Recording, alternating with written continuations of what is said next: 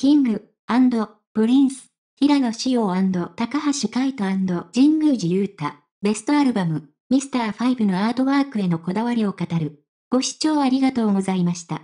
素早く最新情報をもらえるようにチャンネル登録ボタンをよろしくお願いいたします。ありがとうございます。平野紫耀はリアーティアラ版、高橋海人は通常版、神宮寺勇太は初回限定版ジャケットについてコメント。キング、プリンスが初のベストアルバム、ミスター5を4月19日にリリース。この度、グループの公式ツイッターに、メンバーの平野紫耀、高橋海人、こうは橋本高が正式表記、神宮寺勇太がジャケットのアートワークについて語ったコメントが公開された。平野はリアーティアラ版、高橋は通常版、神宮寺は初回限定版のジャケットについてコメント。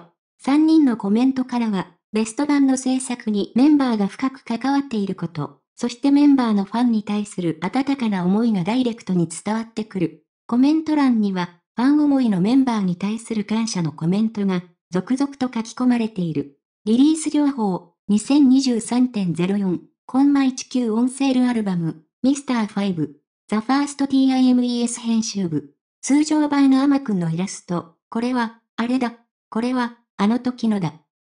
見ているうちに、涙が溢れて、どうしようもなくなりました。ティアラ版も、とても素敵に出来上がっているのが、インスタの動画でも伝わり、実際に手に取り、目にして、聞くのが、今から、とても楽しみです。ですが、迫り来るその日が、来てほしくないので、発売日も、来てほしくないような、複雑な心境です。紫耀さんが Dear Tiara 盤、海ちゃんは通常盤、神宮寺くんは初回限定盤のジャケットについてコメントありがとう。すごく嬉しい。ベスト版の制作にメンバーが深く関わっている。まっすぐな、キングプリンスの愛が込められている。真摯なメンバーのファンに対する温かな思いが、胸いっぱいに満たされる。ダイレクトにティアラに届くと思います。素敵な作品に携わってくれて、感謝します。キングプリンス大好き。アマさんは本当に絵が上手ですね。ファンになりました。キンプル。で韓国で踊りながら絵を描く、すごかったです。